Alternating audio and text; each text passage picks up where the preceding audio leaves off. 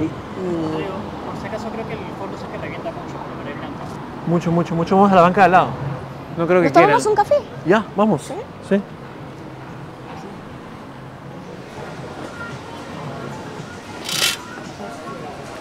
Se puede ser amigo de tu expareja divorciada entonces. Creo que sí. Y en ese... ¿Quieres que me pase yo? Encontraste un cajón. ¿Qué, qué quieres tomar? Ah, yo voy a tomar manzanilla. Hola. Hola, ¿qué tal? ¿Tú ya sabes? ¿Un cappuccino puede ser? ¿Tiene con leche sin lactosa? Bueno, está bien. Una manzanilla, por favor. Sí, gracias. Eh, Cuando falleció encontraste un un cajón. cajón lleno de todos los recortes, una carpeta No. que él había armado de, ¿De ti? de mis entrevistas. Como- es difícil cuando alguien... Y esto me... Hola. grabar instalaciones de pizzería. No, pero estamos en la vía pública, no pasa nada. No, Pero estamos- vamos a estamos- consumir, ¿eh? Sí, consumo o no, hay política de restaurante, está prohibido. pero estamos en la vía pública. Podemos estar en la terraza en la vía pública y grabar. ¿Puedes llamar al gerente, por favor? No va a pasar nada, estamos en la calle, no debería pasar nada. Es difícil cuando uno, cuando tu padre fallece, como el mío falleció, como enfrentarte a sus, a sus cosas, ¿no? A lo, ¿Fue en esas circunstancias? Sí, claro, por supuesto. Muy difícil a- hasta la actualidad porque estamos en una situación compleja. Hola, ¿cómo estás? Muy bien. No, dígame. Disculpa que los interrumpa, es que lo que sucede es que aquí por ejemplo, con el para que puedan hacer ese tipo de filmaciones, tienen que tener un permiso. Pero eso va en contra de la Constitución. Perdón, Solo en DASO, porque eso iría en contra de la Constitución, que nos da libre derecho a tomar imágenes. caballero. Yo entiendo, pero no va a pasar nada, porque estamos, no estamos cometiendo ni una infracción ni nada. Todo va a estar bien. Es que lo, ¿Cómo? es ¿Ah? que lo que sucede es que esta es propiedad, propiedad privada. No, estamos... Usted está parado en la vereda como nosotros. Claro, sí, me entiendo, me entiendo. Le agradecemos su comentario, ya no nos interrumpa por seguir trabajando. ¿Ya? Por favor, Gracias. No voy a tener que llamar a fiscalización. Llama a fiscalización. Va a ser más difícil. Llámelos para conversar, no hay problema. Por favor, estamos grabando, igual todo va a quedar grabado, ¿no? Nos trae, nos trae. Esto es lo que pasa, como lo voy a repetir, caballero. Están prohibidas hacer filmaciones en la empresa. ¿En Son dónde? políticas de la empresa. Esto pertenece al restaurante. ¿La vereda? vía pública, sí está en la vía pública, pero pertenece al restaurante. La silla, las mesas, lo que salga. Pero vamos a consumir un café y una manzanilla. No, puede consumir, pero no puede ¿Podemos hablar con el gerente? El gerente ahorita no se encuentra. ¿Con el encargado? Estoy encargado yo, por eso lo estoy explicando. Podemos eso llegar- me podemos llegar a un acuerdo. Con calma, ¿no? Podemos entender que estamos sentados como clientes Claro. en la vía pública y que no hay razón para que llame a serenazgo ni nada. No, pero. ¿Usted llamó a Serenazgo? Lo estoy diciendo de buena manera al principio. Yo también lo estoy hablando muy bien. Y ahora, una de las cosas, creo que de ser caballero es acercarse allá adentro y decir, por favor, ¿puedo tomar tu locación para filmar? Es algo muy diferente. Se han sentado, el caballero está filmando. Lo que pasa es que, bueno, nos vamos, ¿qué? ¿Usted llamó a serenazgo? ¿Usted le pasó la voz? Sí, sí, sí. Ya. Va a llamar a fiscalización. ¿Podemos quedarnos hasta que venga fiscalización? No sé, pero. Sí. gusta, Buenísimo, gracias. Nos quedamos. Eso es lo que- ¿Te molesta quedarte un minuto más acá? No, no, está bien. Vengo siempre acá. Mirá qué casualidad, qué ironía del destino. Pero Qué pena, ¿no? sí, no sé. pues. Este, para irnos ya, estábamos en qué punto, perdón. Hay una situación muy triste. Si nos toma foto, avísenos, señor, para poder posar. Creo que nos vamos para no...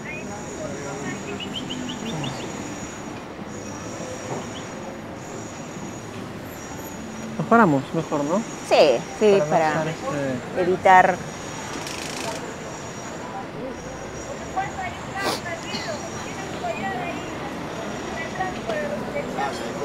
No, no se preocupe. Vamos. Caminemos. Sí. Ah, perdón. Si querés vamos para allá, que hay un Sí. parque muy lindo Vamos. donde también iba con mi padre. Es que lo que sucede Pero este sí es un serenajo. Ha llamado Para serenajo. que puedan hacer este tipo de filmaciones, tienen que tener un permiso. Pero eso va en contra de la Constitución. Como te has metido con el tema de la Constitución, vamos a hablar de la Constitución. Este inciso te va a encantar. Inciso 12 del artículo 2. Las personas tienen derecho a reunirse pacíficamente. Las reuniones en locales privados o abiertos al público no requieren aviso previo. ¿Ya? ¿Ok? Una- es una reunión, estás reunido con una persona. ¿Qué, qué El tema es, según ellos, la grabación. la constitución no entra en film. Como comprenderás, la constitución no se detiene en la filmación, la grabación. Eso es. En todo caso, por ejemplo, podrían, podrían decirte que para grabar tienes que pedir permiso, sí te lo pueden decir. Pero tiene que haber un aviso previo, grande, visible, en el cual te digan, para que usted pueda tomar fotografías o para que usted pueda filmar, requiere la autorización de la gerencia del restaurante. Si hay un aviso que te indique eso, vale. Pero si no hay un aviso, no puede salirse del, del aire una persona y decirte no puedes grabar. Es difícil cuando alguien... Y esto me... Hola. No, pero estamos en la vía pública, no pasa nada. No, Pero estamos- vamos a estamos- consumir, ¿eh? Sí. Consuman o no, hay política de restaurante, está prohibido. Y tampoco se puede aparecer como por ensalmo personal de serenazgo, decir, sí, no puedes grabar en este establecimiento. O sea, no puede pasar eso. Situación compleja. Hola, ¿cómo está? Muy bien. No, dígame. Disculpa que los interrumpa, es que lo que sucede es que actuamos con el plazo para que puedan hacer este tipo de filmaciones, tienen que tener un permiso. Pero eso va en contra de la Constitución. O sea, restricciones se pueden dar en establecimientos, sí, pero tienen que ser advertidas al consumidor previamente para que el consumidor decida si se queda o no se queda. Porque, por ejemplo, si a ti te dicen, no puedes filmar y tú lo que quieres es filmar para tu programa, obviamente no vas a ir pues allí porque no te conviene o de repente no te dan el permiso, vas a buscar un lugar en que no se pongan con tantas exquisiteces. Ahora, el otro tema es que las mesas que, en las que tú te sentaste eran mesas que se encontraban ubicadas ¿dónde? En la vía pública, la vía pública. El ciudadano tiene derecho al libre tránsito por las vías públicas a desplazarse sin ninguna limitación. Tú te detuviste allí para tomar un refresco, una taza de café, una manzanilla, y de repente se aparece, repito, un sereno para decirte que soy algo así como el, el, empleado, el guardaespaldas del restaurante, y lo que diga esta persona en el restaurante tiene que acatarse. Entonces, es un poco raro todo esto, ¿no? La municipalidad acaba de emitir un comunicado Ajá. donde dice lo siguiente, donde dice, respecto al establecimiento comercial que se presenta en el video, nos compete informar que cuenta con una licencia de funcionamiento del año 2017, que incluye el uso del retiro municipal, que es donde se ubica actualmente y que no corresponde a la vereda, como se ha señalado. Bueno, entonces en ese caso tú tendrías que ser un adivino para saber que tiene un una autorización especial para hacer uso de la vía pública. Al no existir un letrero que te lo informe previamente, tú no tienes cómo saberlo. Entonces tú procedes sencillamente siguiendo las reglas del, del- del uso común de los bienes públicos. Nada más. ¿Eso es vía pública? El- Las aceras y las pistas, claro, son ¿Dónde están co- infraestructura Donde que están colocadas las mesas es vía pública. es la vía pública. Pero acá, excepcionalmente, la municipalidad ha autorizado y supongo que les cobra una suma extra por ello para que puedan utilizar e- es- ese pedazo de lo que es la vía pública, con los perjuicios y las molestias que implican para los transeúntes, ¿no? Porque hay mucha gente que se desplaza, particularmente personas que pueden estar en silla de ruedas, personas con discapacidad, a las cuales se les dificulta tener que hacer una curva para esquivar a los comensales que están sentados en la vía pública, ¿no? Entonces, de todas maneras, acá el tema es que por más que tenga un permiso para hacer uso de una fracción de la vía pública, el consumidor, el ciudadano no tiene cómo adivinar que se puede o no se puede sentar allí. No hay forma. ¿De qué acto hemos sido testigos? Porque mucha gente deja en comentarios en Instagram que podría resultar en un acto discriminatorio porque te invitan a servirte, uno hace su pedido y luego arbitrariamente sin fundamento nos retiran las cartas y nos piden que nos vayamos. Gracias. No voy a tener que llamar a fiscalización. Llama a fiscalización. Va a ser más difícil. Llámenlos para conversar, no hay problema. Por favor, estamos grabando, igual todo va a quedar grabado, ¿no?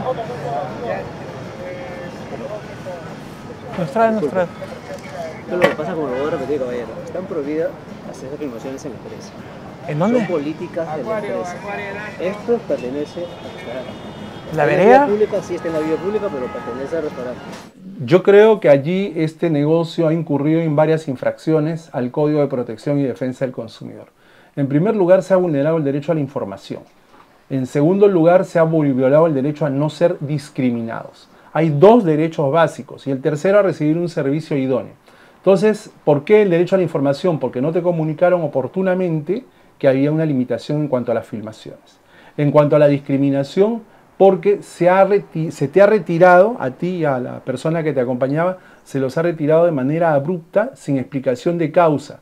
Y entonces, cuando vas a retirar a una persona, cuando vas a seleccionar clientela, tiene que haber una causal, que básicamente, ¿cuál es? Que estés en un estado inadecuado, ebrio o en un estado que constituyas un peligro para los demás, que estés generando un alboroto, que estés generando una situación de inseguridad para los demás comensales. Y sobre esas bases es que se puede retirar a una persona. También se puede retirar a una persona o impedirle el ingreso cuando la persona este, está yendo vestida de una manera inadecuada y hay un letrero que previamente te informa, por ejemplo, damas con vestido, caballeros con terno pero te lo están informando previamente y tú no vas con ese atuendo, el establecimiento tiene derecho de negarte el ingreso, claro. Pero nuevamente, todo esto tiene que ser informado previamente al consumidor. O sea, tu caso es un claro ejemplo de que no ha habido información previa y que han tomado una medida tan malcriada y tan drástica a la cual se ha prestado malamente el serenazgo de ese municipio, lo cual es deplorable. ¿El serenazgo tiene por qué responder o alinearse al pedido de un local comercial? Muy raro. O sea, muy raro, a menos de que, como repito, haya una situación de riesgo para los vecinos. Si hay una situación de riesgo, el serenazgo tiene que intervenir. Pero cuando se trata de un conflicto de consumo en el cual ni siquiera se sabe cuál de las partes tiene razón, cuál de las partes es la que se está, está siendo afectada, entonces está mal que el serenazgo intervenga de esa manera. Está muy mal y deja muy mal parada la municipalidad de San Isidro, que es donde se han producido estos hechos la, línea argumental de son políticas de la empresa, cuándo se aplica o cuándo no, o, todo se debe a la información. Las políticas de la empresa son el conjunto de lineamientos para que la empresa pueda operar de manera eficiente en beneficio de sus clientes, de sus trabajadores, del mercado, etcétera, etcétera. Nada de eso tiene que ver con lo que te ha pasado. Ningún lineamiento de una empresa puede avalar comportamientos como el que hemos visto felizmente en video porque son absolutamente inaceptables, son carentes de educación, vulneran determinadas normas y yo te advierto que si tú presentaras una denuncia ante el INDECOPI la ganas. ¿Qué denuncia es esa? La denuncia sería por violación de tus derechos como consumidor, particularmente el derecho a la información, como te dije, el derecho a recibir un servicio idóneo y el derecho a no ser discriminado. Y tú has sido víctima de todas esas transgresiones en estos minutos que se han visto en el video. ¿Y eso cómo afecta al local o cómo el local puede resarcir? O sea, ¿es una multa, es un cierre temporal? Si la denuncia fuera declarada fundada, el INDECOPI está facultado para imponer sanciones que van desde amonestación hasta una multa de 450 unidades impositivas tributarias. Teniendo en cuenta que cada unidad impositiva equivale a 4.500 soles, echa, echa números. A la par, el INDECOPI puede disponer lo que se conoce como medidas correctivas.